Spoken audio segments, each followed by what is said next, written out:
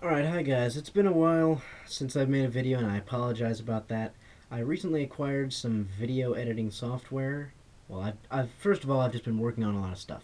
Second of all, I acquired some video editing software, which was awesome. I was able to edit a video and get it all together. And then when I saved it, it was 7 minutes long, which was fine, and it was 35 gigabytes, which was not fine, so I had to compress it.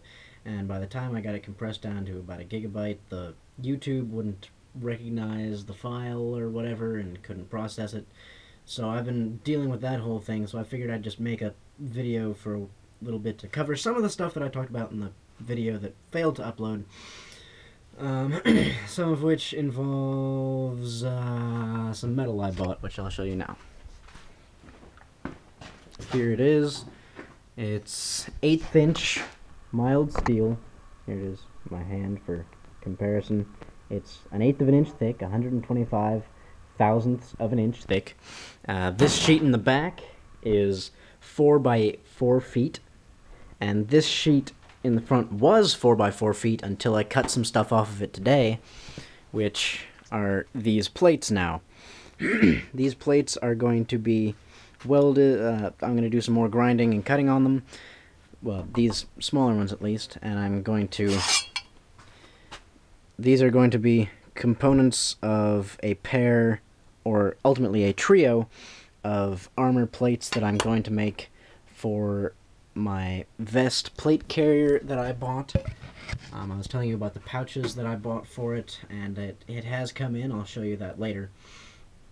Um, but it's a plate carrier, so I'm going to make some relatively lightweight armor plates to put in it. Uh, total, these plates weigh about 15 pounds, and I think once I get the other material cut off and then weld them all together, they'll probably weigh about that. Uh, yeah.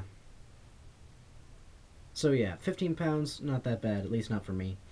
I've been wearing pretty heavy stuff for a while now, so it shouldn't be a problem. But, just letting you know I'm still here. and I usually try to upload a video about once every week, but sometimes that just doesn't happen. I don't have time or I'm not working on enough stuff to justify making a video about things I'm doing.